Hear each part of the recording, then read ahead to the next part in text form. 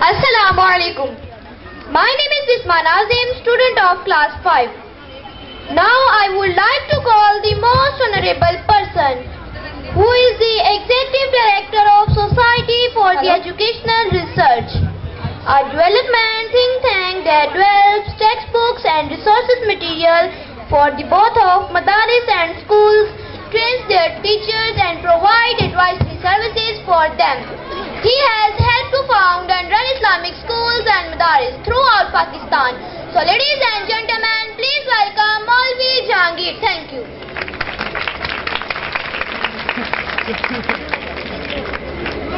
محمد وعلى آلہ وصحابہ اجمعین حضرت گرامی میں تاریخ دیکھ رہا تھا تو نو سال ہو گئے زبیر صاحب تقریباً دس سال خامان ہاں، اسکول کو نو سال پہلے میری ملاقات جو محترم خالد چودھری صاحب سے ہوئی اور اتفاقاً ملاقات ہوئی۔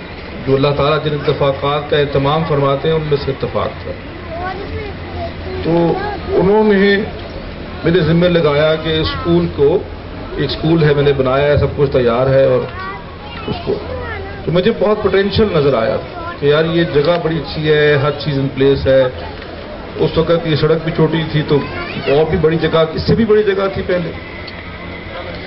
لیکن مجھے جس چیز کا اندیشہ تھا، وہ جو ایک تھا، کہ یہ میں خود تو چلا نہیں سکتا۔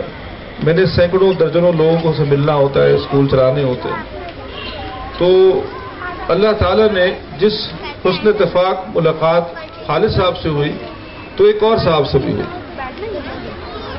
اور ان صاحب سے مجھے ملاقات ہوئی، اور ان صاحب کے اندر بھی میں نے بہت پوٹینشیل دیکھا۔ تو میں نے کہا جی آپ آ جائیں۔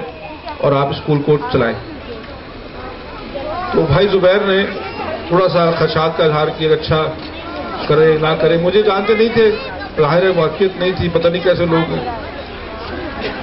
تو مجھے بہت امید تھی کہ یہ دونوں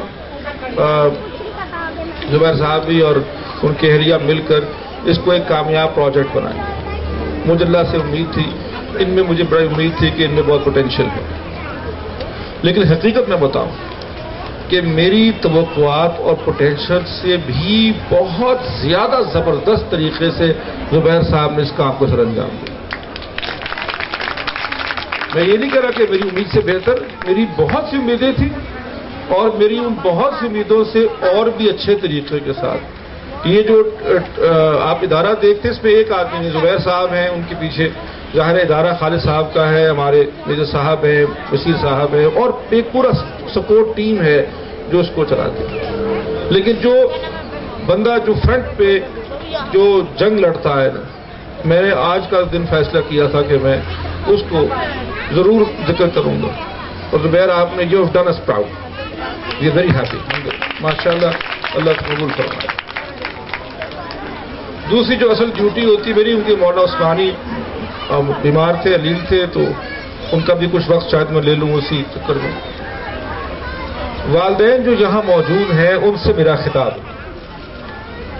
کہ ہم اسکول میں پانچ، چھ، سات گھنٹے جو کچھ بھی کر لیں، جب تک ہمیں گھروں میں آپ کی سپورٹ، آپ کی مدد، آپ کی معاونت حاصل نہیں ہوگی، تو یہ بچے اس طرح سے پروان نہیں چڑھ پائیں گے جس طرح سے ہم چاہتے ہیں۔ آپ کو معلوم ہو، ہونا چاہیے۔ کہ اگر چھ گھنٹے یا سات گھنٹے آپ کو دکھائی دیتا ہے کہ یہ اسکول میں رکھتے ہیں بچوں کو، تو اس کے پیچھے اٹھارہ گھنٹے، سولہ گھنٹے بھی یہی ہوتا ہے۔ یہ چوبیس گھنٹے کی نوکری ہے جو زبیر صاحب اور وائس پرنسپل صاحبہ اور باقی چوبیس گھنٹے کی نوکری ہے۔ یہ راتوں کو اٹھ کے بھی آپ کے بچوں کے خواب دیکھ رہے ہوتے ہیں۔ رات کو اٹھ کے سوچتے ہیں، رات کو اٹھ کے بھی یہی باتیں کر رہے ہوتے ہیں۔ رات کو ایک وہ من گھڑت سے واقعہ میں سنا دیتا ہوں، لیکن سمجھ جائیں گے بات۔ رات کو پرنسپل صاحب نے وائس پرنسپل صاحبہ جو کہ ان کی اہلیہ بھی ہیں، ان سے کہا کہ چلو تم کو آئس کریم کھلا کے لاؤ۔ تو آگے سے کہتی اچھا لیکن وہ جو بشیر اور اس کا بھائی ہے نا، ان کو زکام ہے، تو کل کا پیپر ری ٹیسٹ کرنا پڑے گا۔ آپ کو پتا اس طرح کے واقعات ہوتے ہیں ذرا یہ چھ گھنٹے رکھتے نہیں، یہ چوبیس گھنٹے آپ کے بچے ان کے دلوں میں رہتے۔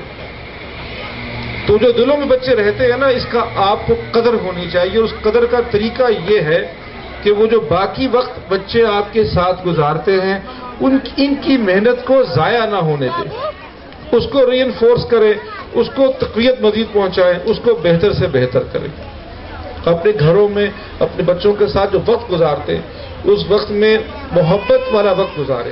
کھیل میں وقت بس موجود ہونا کافی نہیں ہے کہ میں موجود ہوں۔ میں اس کام سے آیا ہوں، والد والد صاحب، خاص طور پہ جی میں آیا ہوں کام سے، میں گھر ہی تھا، میں ساتھ ہی تھا، نہیں، ساتھ ہونا کافی نہیں ہے، ساتھ رہنا ضروری ہے۔ ان کے ساتھ وقت گزاریے ان سے پوچھیے بیٹا، آپ نے کیا سیکھا ہے آج اسکول میں؟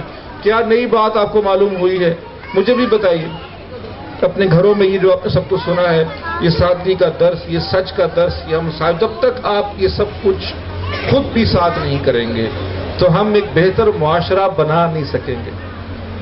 ان کو صرف پڑھانا نہیں ہے، ان کو سکھانا ہے۔ اور اکیلے نہیں کر سکتا اسکول۔ تب تک آپ ساتھ ہی دیں گے اللہ تعالیٰ قبول فرمائے آپ سب کی کوششوں کو اور وقت کو اور ہماری نسلوں کو، ہماری ان بچوں کو ایسا بنائے کہ دنیا میں بھی وہ ہمارے لیے باعث فخر ہوں، باعث راحت ہوں، باعث رحمت ہوں اور آخرت میں بھی ہمارے لیے باعث بخشش بنے۔ ان سب لوگوں کے لیے باعث بخشش بنے جنہوں نے ان کی تربیت اور ان کی تعلیم میں حصہ ڈالا تھا۔ وہ آخر دعوانا الحمد للہ